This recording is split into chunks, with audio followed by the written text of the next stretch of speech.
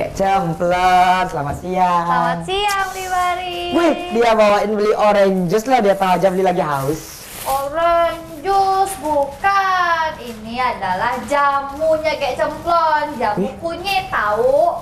Gek, kok Gek. bisa minum minuman jamu gitu sih, Gek? Iyalah, orang Gek Cemplon setiap hari juga minum jamu biar Ih. cantik. Gek, biar Gek tahu Gek minum jamu sekarang itu berbahaya, biar Gek tahu nggak boleh sembarangan. Berbahaya gimana coba? Ribari ini nakut-nakutin aja. Gek, Gek nggak curiga tuh banyak orang minum jamu kadang-kadang dari batuk tiba-tiba sembuh. Gek yakin apa nggak ada bahan kimianya itu jamu? Kan namanya juga jamu tradisional, Ribari. Emang kenapa? Aduh Gek, biar Gek tau Gek ya jamu-jamu sekarang itu sudah tercampur menggunakan bahan kimia, mengandung bahan kimia biar Gek tahu dan Gek tahu nggak jamu-jamu seperti ini tuh tidak ada izin resmi dari BPOM-nya.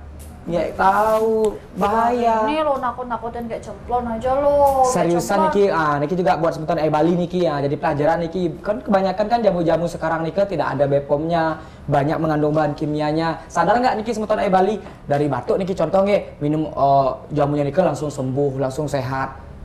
Iya juga sih, Ribari. Gitu. Carilah jamu yang ada BPOM resminya, Ge. Ya udah, besok-besok. Nyapa nih, aduh. Ini udah langganannya kayak soalnya ada besok-besok kayak lebih waspada lagi kalau beli jamu kayak cek dulu ntar ada BPOM-nya apa enggak, ada izin edarnya enggak ya beli bari ya? Itu dia penting kamu tahu tuh. Iya deh. Terus siapa ini kerang? Ntar. Diapain ntar? Beli bari minta? Iya. Eh, enggak boleh, enak aja alasan beli bari itu. Ntar kayak buang aja lah kalau gitu. Beli aja lah. Enggak, modus aja nih beli bari.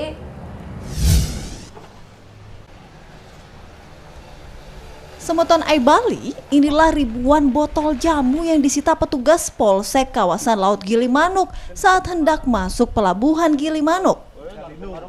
Ribuan botol jamu ilegal tersimpan dalam 100 kardus ini, masing-masing berisi 12 botol berukuran 650 ml. Barang ilegal ini dibawa dari kawasan Genteng Banyuwangi, Jawa Timur. Rencananya akan dibawa ke Lombok Timur. Hasil penyelidikan polisi, jamu dalam kemasan 1.200 botol ini menjadi salah satu jenis jamu tradisional yang dilarang beredar oleh BPOM. Polisi kini masih melakukan pengembangan terkait pengiriman jamu ilegal ini. Sementara sopir kendaraan masih menjalani pemeriksaan di Polsek kawasan Laut Gilimanuk.